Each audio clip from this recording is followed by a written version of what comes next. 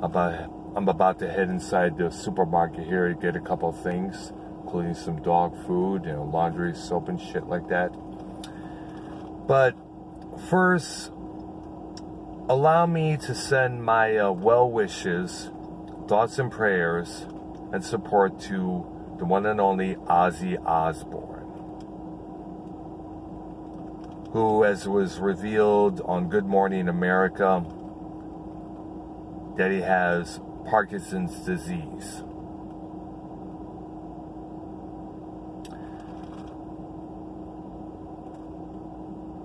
I was thinking about about when he's mentioned that, you know, basically the kind of Parkinson's, what I understood and what I saw in uh, the Good Morning America interview, wasn't wasn't.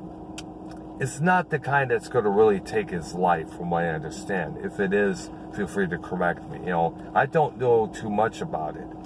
The only thing I know about about it so far is that you tend to shake a lot, and you often see illusions from what I heard from some commercial describing this condition.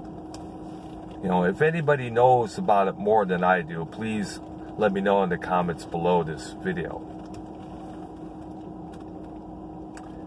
Now, this explains why, for the past couple years, whenever, whenever we see Ozzy perform on stage, whether you saw him live or saw clips of him on YouTube, on the news, or whichever, we always see him stand in front of his mic stand, almost motionless, singing out blah blah blah blah.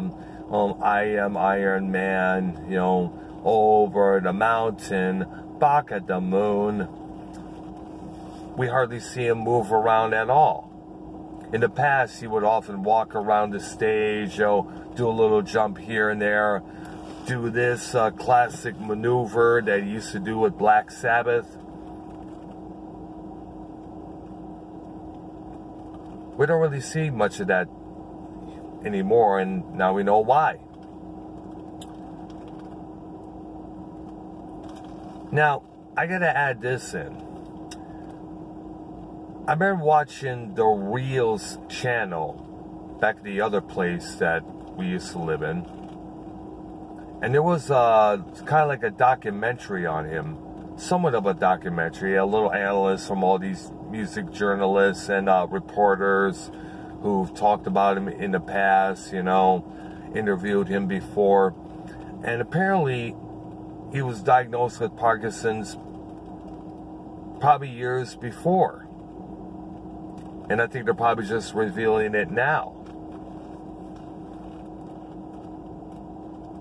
And I'm thinking to myself, when I used to watch the Osbournes on MTV back around 2002, this may explain why we saw see him his hands shaken at various times.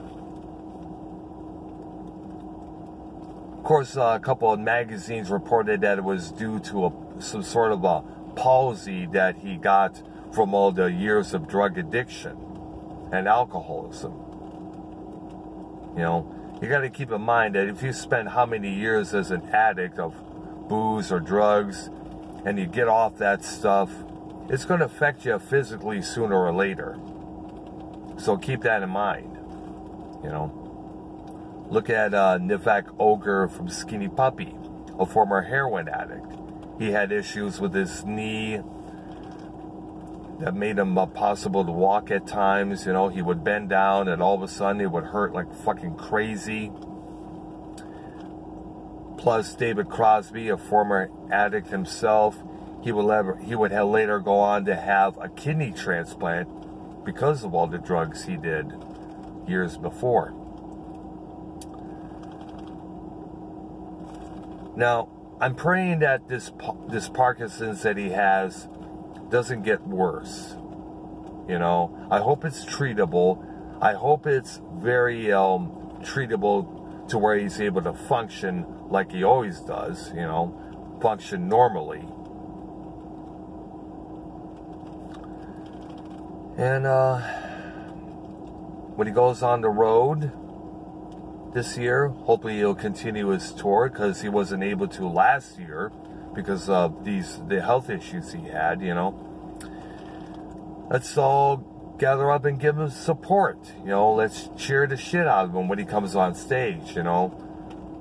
For going out there and you know and braving this condition to go and give us what we need, which is good fucking heavy metal rock and roll. You know,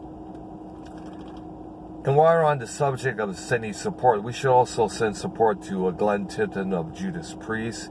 He was diagnosed with it a couple few years back. You know, we should also send support to uh, Michael J. Fox, the actor. He's had it for how many years?